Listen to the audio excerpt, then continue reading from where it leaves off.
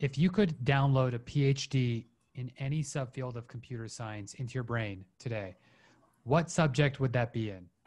I think the one ha- that I haven't learned at all, and one which is really useful, and one that I got fooled by today is machine learning.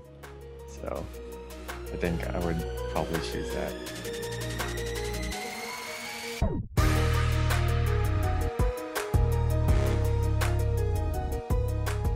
Everybody, I have with me here today William Lin. William is an international grandmaster on CodeForces.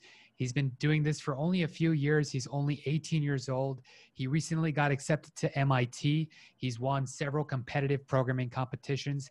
He's got an awesome YouTube channel that you guys should definitely check out and subscribe to if you haven't yet.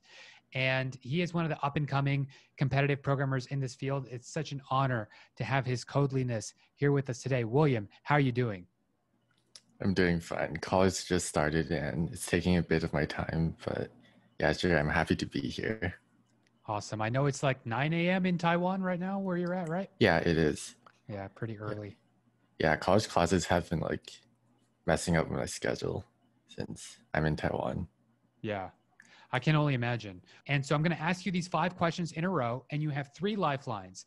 You have 50 50, which means that I'll eliminate two for you. You have phone a friend, which means you will literally phone a friend with your phone on, on speakerphone while we're talking for one minute, and they'll have they'll answer for you or ask the audience. In this case, we don't have an audience, so I will be your audience and you will ask me and I will give you a hint.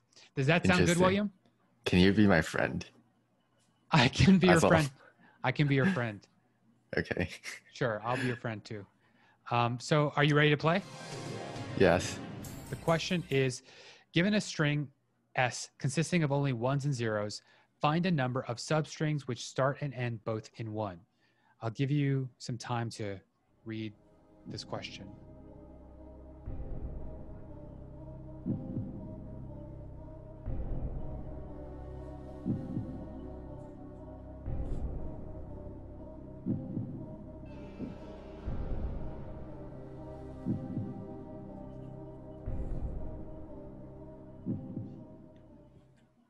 Okay, so looking at the first example, one one one one, it has four ones and its output is ten. So just like the formula should be like something like um, the number of ones choose two. So that leaves A and C. And then I'm not even sure C is correct because like can you I'm not familiar with Python, but can you like I don't know if this syntax, like what you do 4x in S, I thought it was supposed to be like 4x in range S. But anyways, like you only output one like one answer per test case. So like there's no loop for the print statement. So I would say it's A. Okay, is A your final answer? Yes, it is. All right, let's check that out. You're right. Congratulations. You got the first question correctly. Good work, William. We're moving on to question two. All right, we can move to the second one. The second question is Which technique often does not require data feature engineering? Is it A, classification via support vector machine, B, deep learning, C, regression via decision tree, or D, XGBoost? I don't know any machine learning. This is Oh. going to be Well, this is, we're going to modify competitive programming a little bit, throw some machine learning in there. You remember, you do have three lifelines, so you can use those at any point. that that's a very big modification. Hmm. What, what was the what was the thing you said in the question? Which technique often does not require data feature engineering? Does not require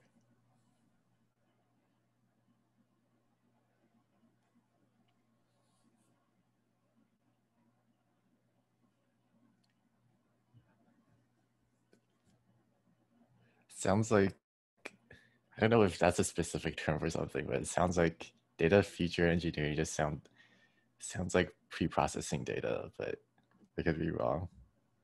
I like the way you're thinking right now.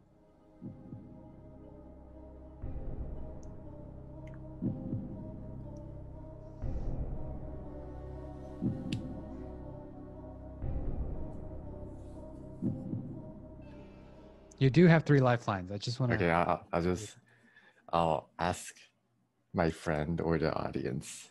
Okay, um, which, which one? Wait, does it matter? It does matter, just for the sake of this. Even Okay, though, sure. I'll, I'll I'll ask my friend, which is you. Okay, let me um go get your friend. Hold on. I guess the best I can say for you is that feature engineering is such a crucial part of all machine learning, and it has been for 30 plus years. So almost every machine learning model uses some form of feature engineering. It's only in the past five to 10 years that we've seen a new type of machine learning that doesn't require anywhere near as much feature engineering. As Professor Andrew Ng at Stanford said, this technique is like something where you just give it rocket fuel and the rocket engine, and it will just outperform everything else like you've never seen in your life. It's better than everything. All right. I hope that helps. I got to go do other things. See ya. Actually, I'm not sure of any of the answers. You have two more lifelines. You can absolutely use them. Okay, I go with the 50 50. Absolutely. All right, we're going to take away two of the answers and only two will remain. Here we go. Two remaining answers are B, deep learning, and C, regression via decision tree.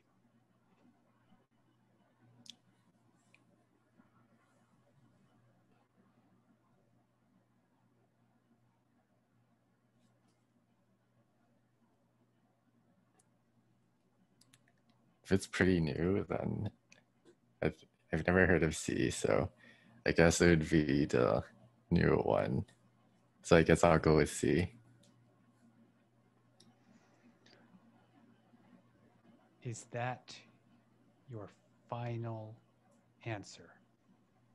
Yes, that is my final answer. William, you lost. I'm sorry. Oh, oh a- man. Oh.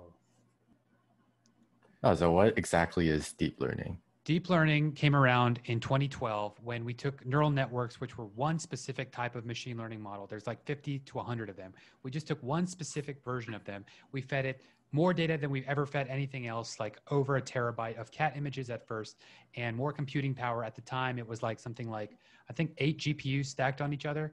And it had an image classification accuracy that blew every other technique out of the water. And from then on, we knew that instead of engineering and selecting specific features for image classification or say regression or really almost any task, we could just give this type of model, this neural network, a lot of data and a lot of computing power, and it would just figure out what the relevant features are for whatever the objective is by itself. And that phenomenon collectively of all those different variations of neural network methodologies, we call deep learning. Oh, okay. That's interesting. Yes. I do want to keep going, even though uh, we lost. Can we do one more question? Yeah, of course. We can like just keep going through the questions. I don't mind. All right. Let's go to the third one.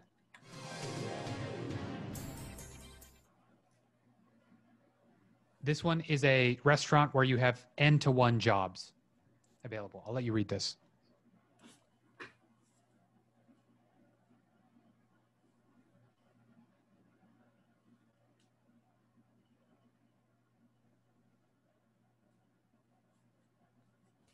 Oh, this is a standard, pretty standard problem. I think it's like you can see this on multiple online judges. Basically, you sort the numbers, and then the minimum difference will be the minimum difference will be like one of the differences between the adjacent numbers. So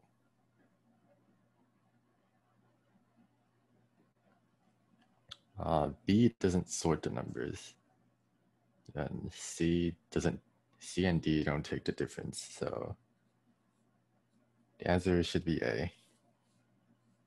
Is that your final answer? Yes. Correct. You got it. In this post game game that we're playing right now, where the points don't matter, it's more for the fun of it. Yeah. Nice work. Let's go to the next one. For our second machine learning question What type of machine learning system does the following equation represent? By actually reading out this equation, I would give the answer, I think. Actually, I wouldn't. So let me just read it. It's a minimax game where you have two functions, G and D. And V is the outermost function that is a function of D and G. And the four possible techniques are A, this is a variational autoencoder, B, Newton's method, C, this is a generative adversarial network, or D, this is gradient descent.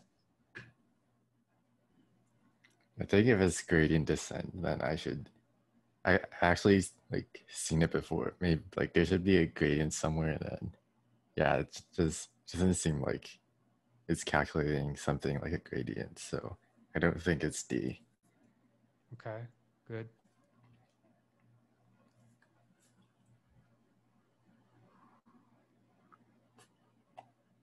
Minimax appears in like um appears in like game theory where where like you're trying to trying to maximize your outcome while the opponent is trying to minimize your outcome but i don't know if that's related to this at all Yep, that's exactly what this is.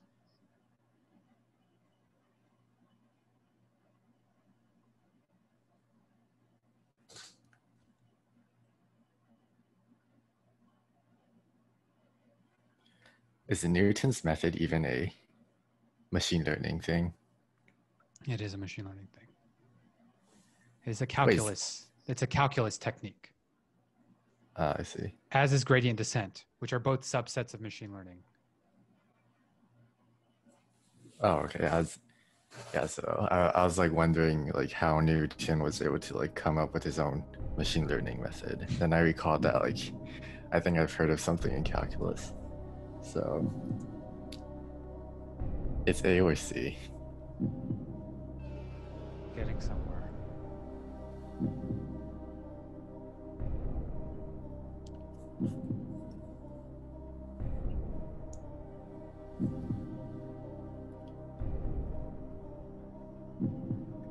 See the ad- adversarial in uh, choice C makes it seem like it seems like something which is like familiar in game theory. So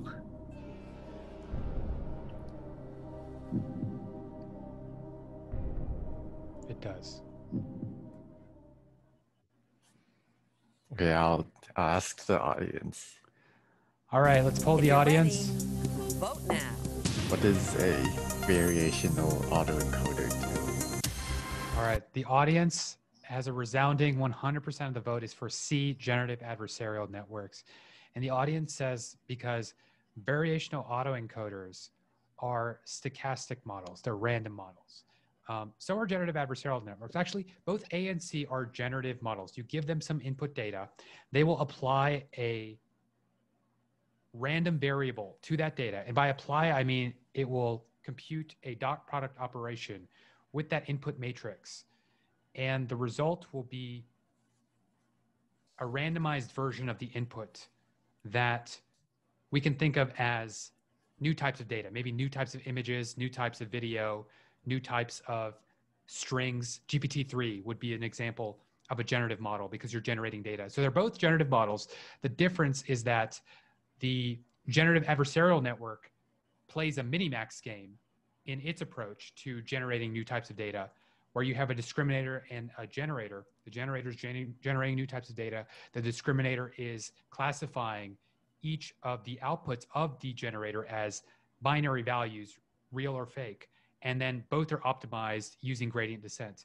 Whereas in a variational autoencoder you have one network but we could think of it as actually there are two networks. We have one network that encodes the data into an intermediary representation state space and then we have, another network that then generates data using that state space. The random variable exists inside of the hidden layer which is applied such that whenever the new data is- generated with the second network it's slightly varied. So every time you have some varied output. It's uh, C then. Nice work yes congrats Yeah, did. Oh yeah, the um the was like the discriminator and the generator, that's DNG. Yes. Yeah, it is, it's actually interesting. I didn't think. So you have like neural network which checks another neural network, or is it neural network? Yes. Oh yeah, it's network. Yeah. Yep. Yeah, that's interesting. I didn't think I would see something. I, I didn't see how I see mini max here. Yeah. Got to keep it different. All right, let's move on to the last question. The hardest one.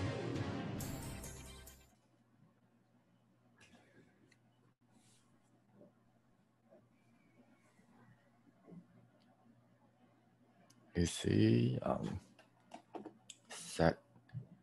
Yeah, so first you want to find the set of the jobs which have not been done before. And Mhm.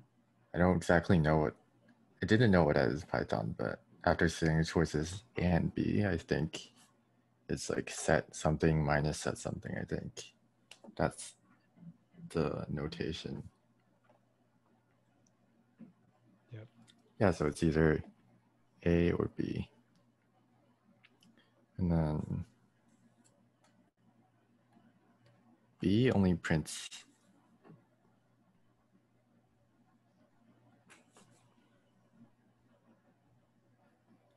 Oh, B only prints one line apparently. Where it's cut off. But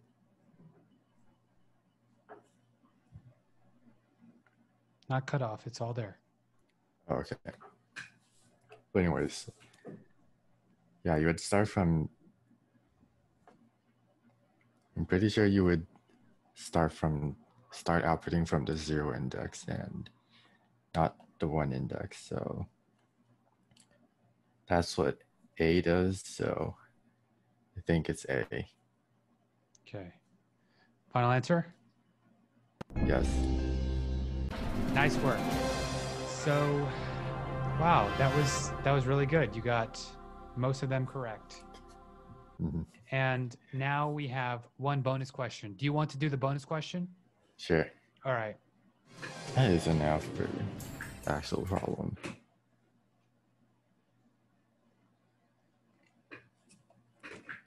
So after you put in so yeah, after you put in the like select one marble for each K of them because you need at least like one per per color. You have minus K left. And then you want to you want to distribute that between K colors. And then that's a combinatorial problem. So forgot the name. It may be like maybe call like stones and sticks or like balls and boxes, but the general idea is if you consider the number of ways to order n minus k objects and then k minus one separators. Uh, if you if you choose some ordering of these, then the separators will separate those n minus k objects into k groups. So and then like each group will be its own color. So number of ways, and the number of ways to do that arrangement is that's n minus k plus k minus 1. Choose k minus 1, which is just n minus 1 choose k minus 1. So now we need to calculate that quantity. And this is interesting because uh, normally this could, this like number could be very big. But so normally they would ask you to use, normally they would tell you to like find the number modulo some number like 10 to the 9 plus 7. But then Mm. apparently in this case it says like the answer will, will always fit into a signed 64-bit integer. So either I got either I got the problem wrong or like the input is constrained so that the answer will never be too big. But um, I'll just assume that it's the latter. So I'll just write some code right now. I get a chance to like compile and test this or? Yes, yes, you do. We'd love okay. to see it. So now for, first I'll read in the number of test cases.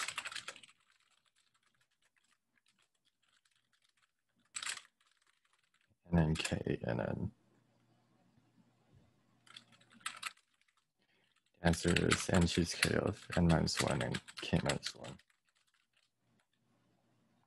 And now I just need to implement this function.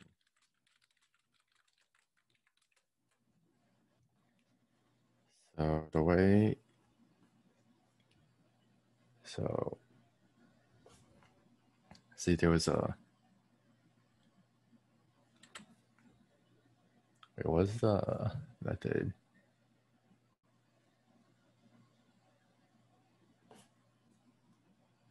remember you can like keep the product and then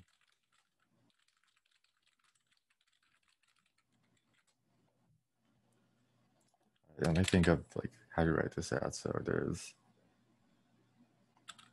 10 times minus 1 times all the way to k. No, we're actually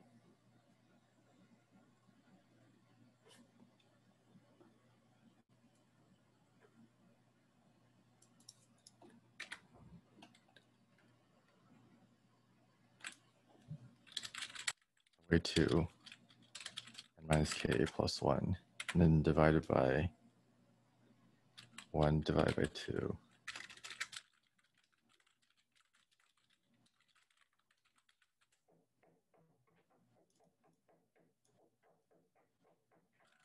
The same formula I described earlier. Multiply r by n minus i plus 1 and we divide it by i.